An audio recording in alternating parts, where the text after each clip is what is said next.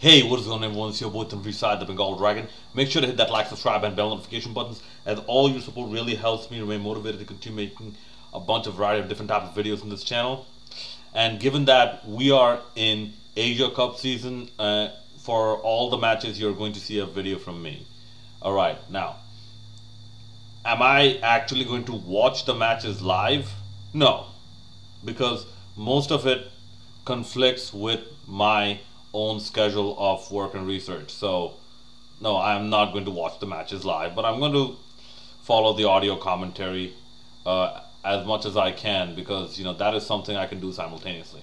Anyways, so uh, today we're going to talk about the first match between Sri Lanka and Afghanistan that took place in Dubai, and um, I don't know what the commentators are on about, uh, saying that it's a high-scoring venue and whatnot. Like, listen, Dubai has always been a a bowler-friendly uh, pitch, provided you bowl properly. Okay, there is something in it for the bowlers. But if you bowl trash, then no matter where you bowl, even if you bowl on a minefield, you're gonna get hit for, you know, you know, you know, for, for like two boundaries every over. Okay, and um, just from watching the highlights and you know covering or catching the the match on audio as much as I can, what I figured is that this guy Fazle Haq Farooqi, the same guy that Tamim Iqbal had uh, some skepticism about and was a bit uh, doubtful about in terms of performing properly. He came and he basically jolted Sri Lanka right then and there at the beginning. Yeah, I think they're like uh, uh, one or two boundaries, but after that, those in swinging Yorkers and the pace we with which he gets those in swinging Yorkers, it's kind of reminiscent of of of Wasim Akram really. Like you know, especially given the late swing that he gets. That's that's the one that beats so many uh, batsmen, and also the fact that he can actually move the ball both ways in the air. Okay, and given that this is taking place in Abu Dhabi or, or in the Middle East, okay, okay, the Middle East, the white ball will swing. Okay, I don't know why Sri Lanka does not know this, or maybe they just, you know, came across the new uh, like novelty factor of of Fazle uh, Farooqi, but they should know that in the Middle East, the the white ball swings a lot. Okay, so after that, you had Muhammad Nabi, you had Mujibur Rahman, you had Rashid Khan, and you had Fazle Farooqi, and you had another bowler. Okay, when Fazle Farooqi basically uh, like you know broke the opening stand, the other bowlers, especially Rashid Khan, he kept the dot ball pressure building and building and building to the point where even in the highlights you saw the batters had no idea what to do. And it's not because Rashid Khan, like, you know, he actually bowls, you know, just regular leg breaks. No, he bowls with his variations with a good amount of pace. Okay, he has more variations than um, Shahid, someone like Shahid Afridi, and this is one of the one of the strengths of Shahid Afridi that he can deliver leg spinning deliveries with some pace, so it gives the batters less time to think and to calculate, you know, what to do and where to hit the ball.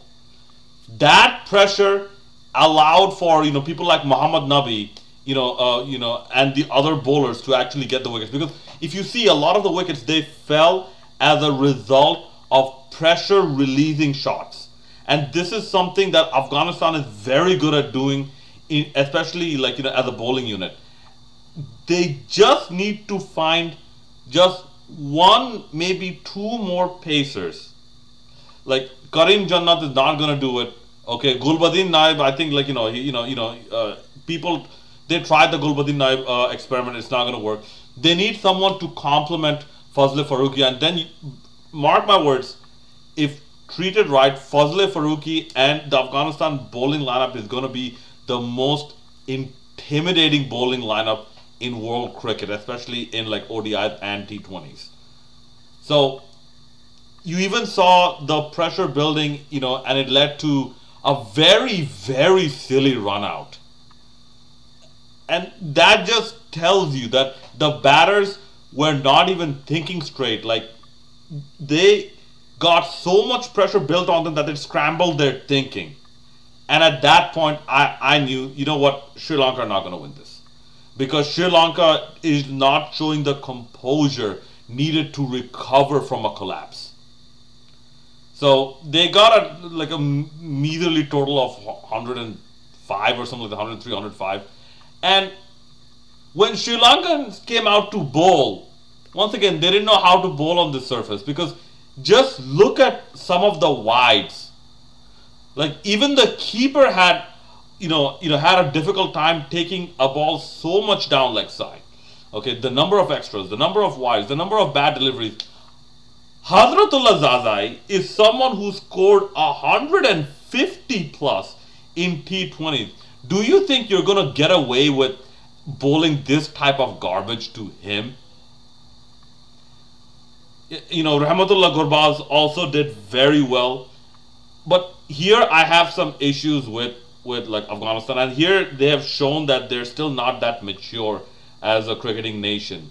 Because one of the things that established cricketing nations have is they know how to chase down a small total without losing wickets. Okay, unfortunately they lost two wickets, and even in their fielding, I believe they they dropped a couple of catches. They were they were a bit. Uh, uh there are a few instances of of misfielding and whatnot. And listen, it's a T20 game. A T20 game, you see even 40 year olds, 41 year olds, 42 year olds, you know, play T20 games. Okay, so you know it is not that physically taxing on the body. And once again, this is why I am still of the opinion that Ben Stokes, he basically took the coward's way out. You know, you know when he bowed out of ODIs. Because he's just like 31. He's at the, he's not even at the prime of his youth, and his body can't take that. That is just flabbergasting. But anyways, just over 10 overs okay? Honestly a lot of people uh, like like in one of the live stream comment section they said this is going to be over much sooner but just over 10 overs it took them to chase down 100 and like you know 105 basically. So basically they were going at 10 runs and over and at one point i believe after five overs they were like 67 for zero. That just goes to show like how poorly Sri Lanka batted. And yes, Afghanistan, a lot of their shots involved using their raw power to hit the ball, you know, take the ball over the fence. Because a lot of the shots that you saw, it got much more height than it got distance. And when it got distance with less height, the ball rocketed to, you know, the stands. Like, you know, the, the, the you know, the second floor, the third floor of the stands. It, you know, it just goes to show that like whoever's gonna face Afghanistan, if they connect with the ball, the ball very likely it's you know you know it's it it's going out of the ground either like for a four or a six unless someone gets in the way. Like you're not gonna have those like you know they just you know they just uh, go and they they hit the ball and the ball just rolls and stops. No, no, the Afghanistani uh, batters they have way too much muscle power for that. Anyways, very poor start from Sri Lanka. Brilliant start from Afghanistan. Let us see what happens in the next match of this group. The next match is, I believe, Afghanistan versus Bangladesh. And believe me, Shakib Al Hasan, I'm very sure he was watching this match very, very closely, along with, like, you know, uh, uh, Sridharan Sriram, the new technical uh, uh, consultant, quote unquote, technical consultant, and uh, like, you know, some of the spinners as well, like, and Jamie Siddons and whatnot. Um, tomorrow, you know, the big clash, India Pakistan. If I, um, if I can, I will make this video much quicker.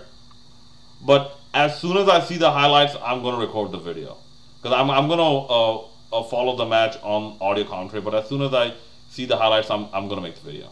All right, and uh, let me know what you thought about this match in the comment section below. And as always, hit that like, subscribe, and bell notification buttons. If another video pops up, please do check that out as well. It's your boy Tanveer Saad, the Bengal Dragon, signing out.